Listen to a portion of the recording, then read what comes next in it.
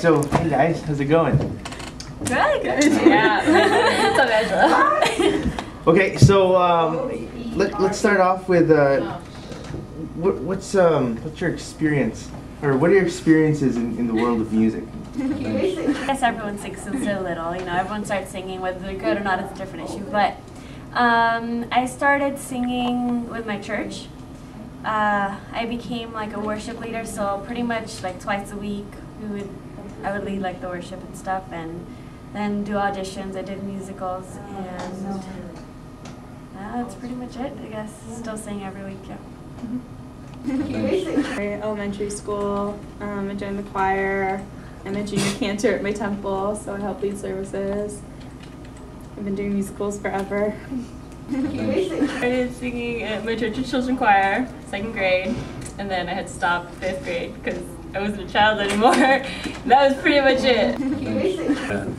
Several records I've uh, put out and uh, CDs, I guess you'd say, and uh, been uh, writing music for uh, quite a few years now. Um, and uh, this particular tune, um, I wanted to make sure that it.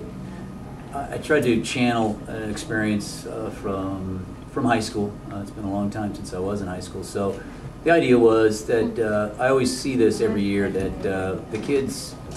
Uh, friendship circle disappears. Uh, the very idea of seeing your friends every day uh, is just going to be gone a week from today, uh, on Friday, the day of finals. It is over. Yet they don't realize that. They just think they're always going to see their friends, and it's so hard. And they, uh, for some kids, they really, really miss uh, this circle. They'll get new circles. They'll get even better friends, possibly, but uh, they'll be different. And that's what I was just trying to, uh, um, uh, just trying to explore. I was actually um, a male soprano. It, it was really weird, but strangely enough, I could get those those extremely high notes.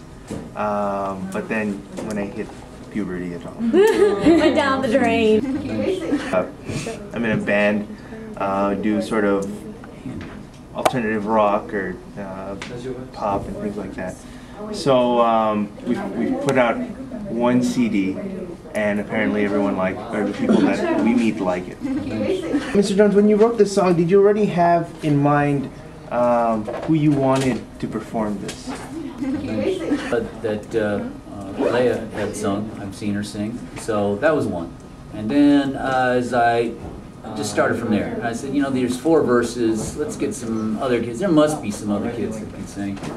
And then uh, I didn't want it to you know, get slammed with just uh, the girls, so that's why I asked uh, Angelo. And uh, but I didn't ask Angelo. I didn't even think of Angelo because Angelo is such a quiet guy and is such a uh, Modest. modest fella, and it was Leah who suggested, uh, you know, have you thought about Angelo? And so, yeah, well, that's the voice you hear on the CDs. I was so excited. I just thought it was really cool, like the whole idea of it, that um, Mr. Jones wrote this whole song for us that really, like, for our class.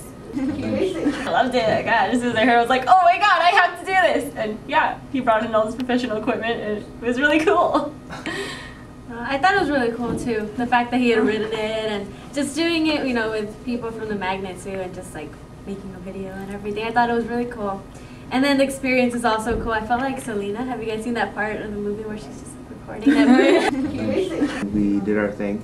I mean, uh, was that new to you in any way, or have you had done that before? It was a kid CD. I got paid fifty dollars to do background vocal tracks, but um, it was cool going back and doing it again. This is my second time. We're putting out um, Christmas CDs and like things like that, so we recorded and had it all like professionally made too. they had this studio, and they were giving out free recordings, so you just have to sign up. So me and my friends kind of just like were like, let's do this, and then we picked like a random song that we kind of made up on the spot. And Did you feel like you know what you were doing? Oh during the time of no! recording? Not at None of us are like professional, so I mean, it was a fun thing to do. But It was it was difficult. Uh, for one thing, uh, they didn't know the song. Uh, nobody really did.